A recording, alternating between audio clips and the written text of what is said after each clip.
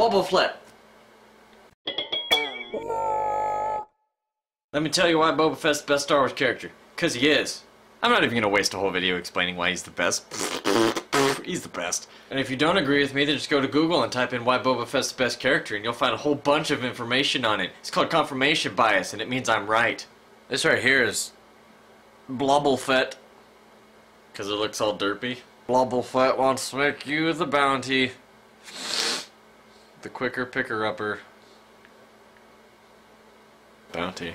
There was an awesome epic rap battle of history that Boba Fett was in. He totally won. Okay, real talk, I did not plan for this video to be about why I think Boba Fett's awesome, but I just put on this hat and it all went downhill from there.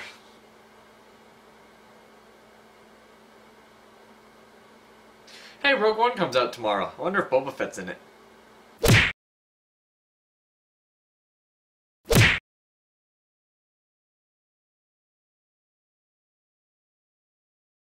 And whatever you do, definitely don't Google, uh, horse porn. I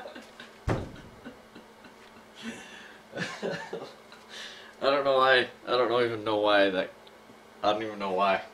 That's what happens when I try to improvise something and it just doesn't work. Why was that the thing that came up? Like, of all the things I could have just said off the top of my head, it was I mean, it's true. Don't Google that. Just whatever. Anyways.